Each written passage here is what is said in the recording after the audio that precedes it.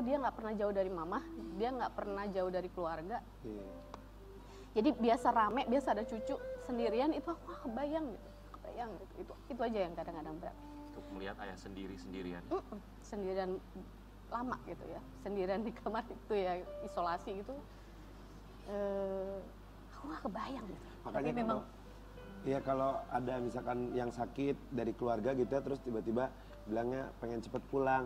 Kadang kita tuh pulang ke rumah kan, gitu suka negesin. Kadang kalau bilang pengen cepet pulang tuh Takutnya pulang ke Artinya sana. ya, gitu ya. dia dia sendiri udah tahu kalau dia tuh maksudnya ibaratnya siapa pun itu yang sakit di pihak keluarga bahwa kita akan dia bakal nggak ada. Jadi cuman isyaratnya ke kita selalu begitu. Itu tuh kita kadang-kadang suka, "Ih, pulang ke rumah kan suka ditegesin gitu biasanya.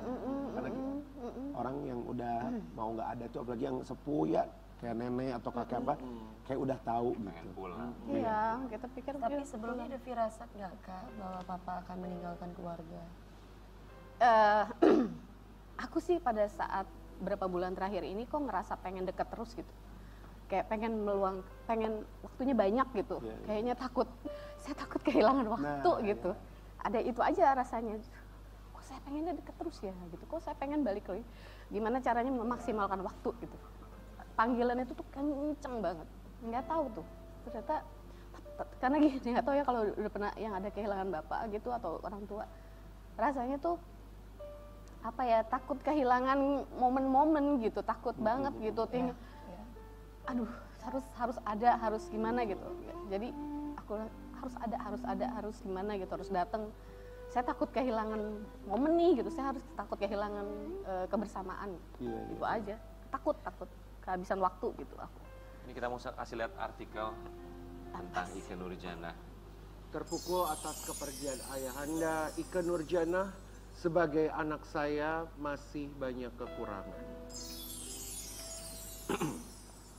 Penyesalan apa kenapa terbesar bagi seorang Ike Nurjana? Penyesalan yang benar-benar dirasa sampai dengan sekarang ditinggal ayahanda tercinta yang belum sempat dilakukan atau merasa kurang. banyak. Saya ngerasa banyak.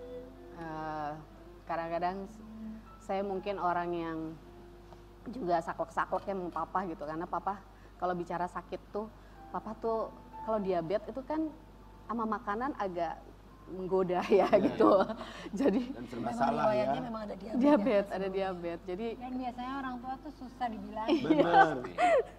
terus eh, tapi dia ya di atas segalanya gitu saya ngerasa suka saya suka galak gitu bukan galak ya maksudnya jangan makan ini ya pak pokoknya saya Karena udah kayak sayang kan. ah gitu saya takut gitu Iya. tapi beliau ah saya pengen nikmatin kata dia gitu tapi Iya. ya ibu saya kadang-kadang ngadu sama saya papa makan ini Pi, papa makan itu ini ini nggak bisa dilarang tas saya telepon